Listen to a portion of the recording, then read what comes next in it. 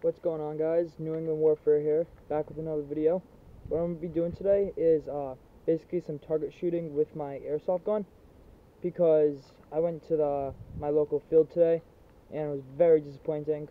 There was only about like five little kids there so I decided to save some money and just uh, head back home which was kind of a pain in the ass and I'm kind of fucking pissed off about but whatever life goes on but I still wanted to bring you guys some uh, good content today.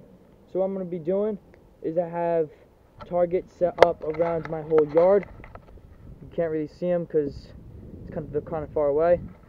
But what I'm going to be basically doing is going around uh, like I'm an actual like airsoft battle. I'm just going to be doing some target shooting. Just wanted to bring you guys some uh, quality content today.